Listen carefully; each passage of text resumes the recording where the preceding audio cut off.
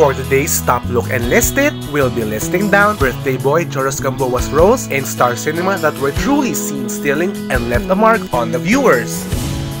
In his first movie role, Joros starred as Jed in 2005's Can This Be Love, together with his then love team partner Roxanne Ginoo, as well as Hero Angeles and Sandara Park.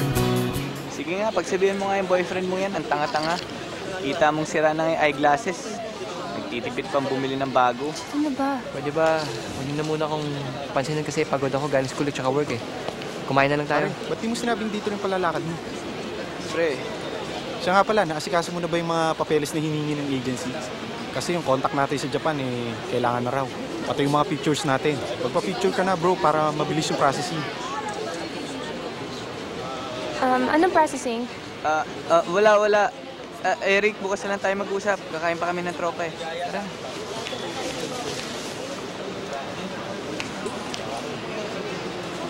Ano nga yung processing na sinasabi ng friend mo? Wala nga yun eh. Sa susunod na magsisinungaling kagalingan mo. Kung wala lang yan, ba't bigla ka pinagpawisan? Ano nga yung papers na yon? Di ba sabi ko sa'yo sabihin mo na? Ko pa naman sinasabi sa'yo yun eh. Sige, mauna na muna kami. Hindi ka na. What happened? Hindi ka na.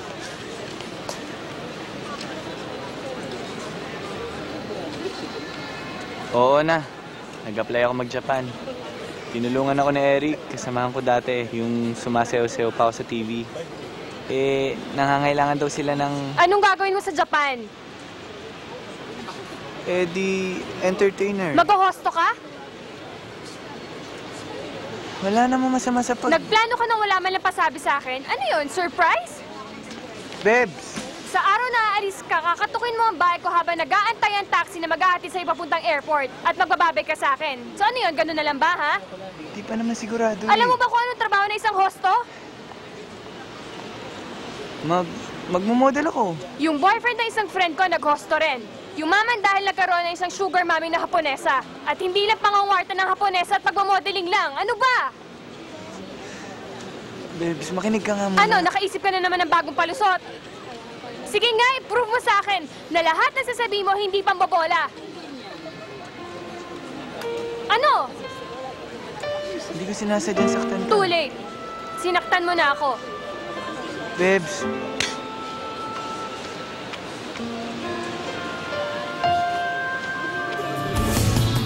2010's My Amnesia Girl had him co-star with John Lloyd Cruz and Tony Gonzaga as one of John Lloyd's friends.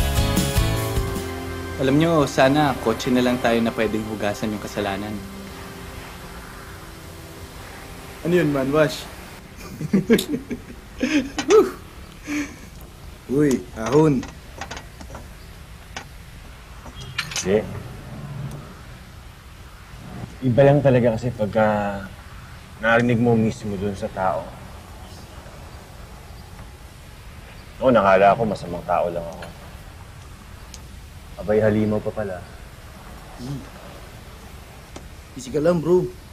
Self-destruct na niya, no? Kaya ako, ayoko ma-in love eh. Kasi naman, ang true love, para sa matatapang lang. Ano ibig mo sabihin? Tuwag ako. Oo. Samahan niyo. oh? Oh? Oh, eto, papakitaan ko kayo ng true love ha. Ganito yan. In 3, 2, 1, 2, 3. Oh, ayan, sakto. Hi, honey! Sakto. Ah, baby, Cheesecake! yan na naman, wala bang iba? Bakit? Nagsasawa ka na ba? Ha? Ala. Ah, hindi. Paborito ko nga to. Sa burol ko ito din, ha? Yan. Oh, Yan ang matapang. Then, in 2012, Suddenly It's Magic, he was the sassy and hilarious Stam. He co-starred with Mario Morer and Erich Gonzalez. Matawa ka rin, no?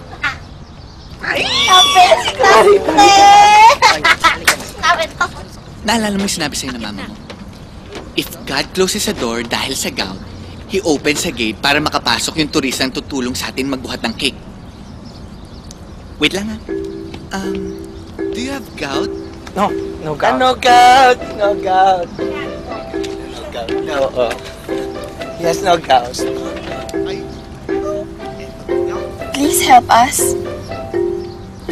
So you owe me more than a cupcake now.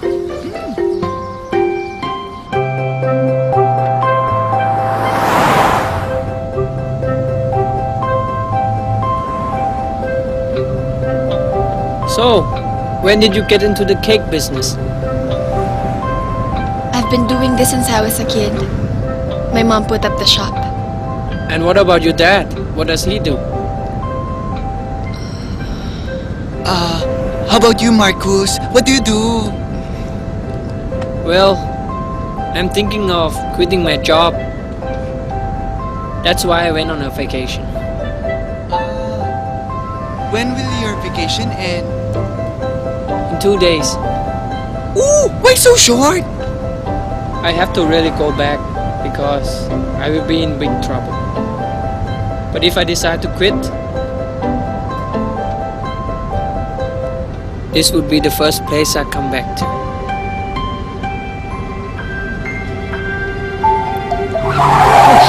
Sam, dahan-dahan yung cake!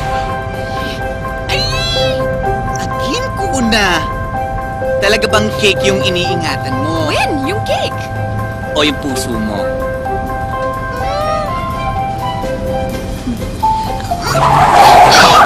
Sam! Tama na ah. Sorry. George is also well known to have portrayed John Ray, one of the friends of Lyda Magtalas, in 2008's A Very Special Love, 2009's You Changed My Life, and 2013's It Takes a Man and a Woman. Two months. Mm-mm. One. Five months. Six. Hmm? Tingin mo tatagal ng six months yan? Six days.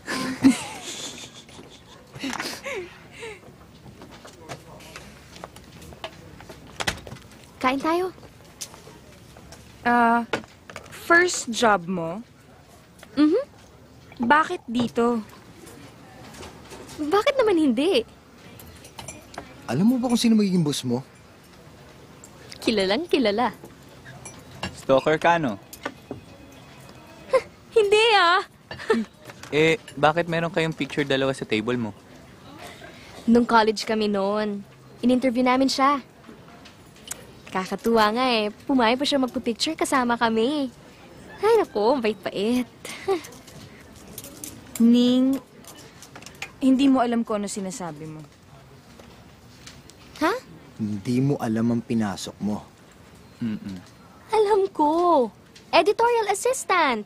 Di ba? Alam mo ba kung anong buhay mo rito? Oo. Sabi ni Miss Violi, coordination daw at content ang trabaho ko. Tapos may creative inputs at reporting kay Sir Miggy. Yun. Yun nga yung problema eh. Lagi mo kaharap si Miggy. Ha? Okay nga yun eh. Eh, walang puso yun eh. Kaya nga wala nagtatagal doon kay Mondemonyo. Soy, eh bakit naman kayo? Eh, matindi pangangailangan namin eh.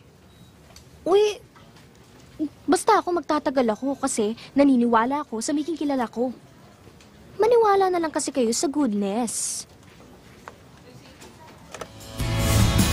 Not shying away when it comes to LGBTQ roles, he starred as Nilo, who then became Alvin Rose in 2017's Can't Help Falling in Love, co-starring with Catherine Bernardo and Daniel Padilla.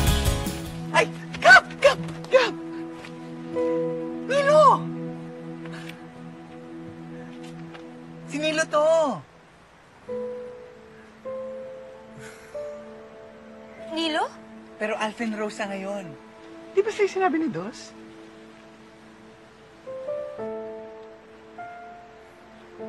Siya yung kasama mo kanina? Gab, papaliwanag ako. Sis, sorry sa lola ko ha. Ang lakas maka-Iceland, eh Thailand naman talaga. Mahina na kasi pandinig nun. Saka sorry rin doon sa plaza, hindi ko kayo nasipot. Eh, ang dami nyo naman kasi. Ang plano ko lang naman talaga. Una magsabi kay Dos. Kaya yung nagkausap kami kanina. Ayun, napakalma niya ako. Kaya nga kita binalikan dito eh. Dala ko na nga pala yung affidavit. Sis, sorry ah. Dahil sa akin, ang problema ka pa. Pero huwag ka mag-alala. Promise, magte-testify ako. Sabihin ko na, kasing lang talaga kayo nun nung kinasal kayo. Sorry rin, hindi ko sinasadyang ma-file, tanga-tangahan lang.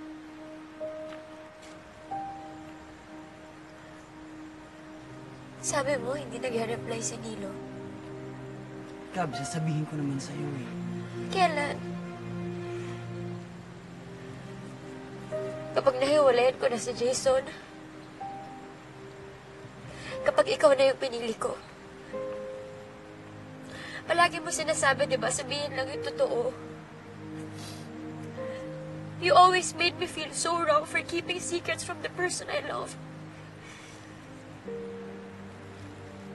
Mo nagawa to? Um, balik na lang ako siguro bukas. Bad timing ako. No. Your timing is perfect.